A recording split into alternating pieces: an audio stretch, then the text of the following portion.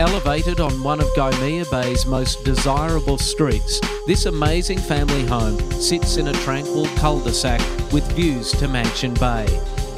Flow between living and recreation space is seamless. Extensive alfresco dining and entertainment areas extend to a secluded rear yard.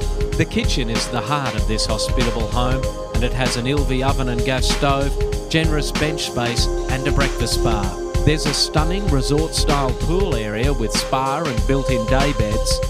From the double garage to the rumpus room, cleverly concealed storage is everywhere. The use of space is ingenious.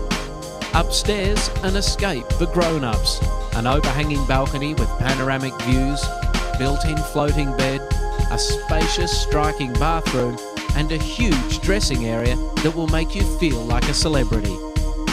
Close to all amenities that make Gymea such an enviable address for family and lifestyle, this home really must be seen to be believed.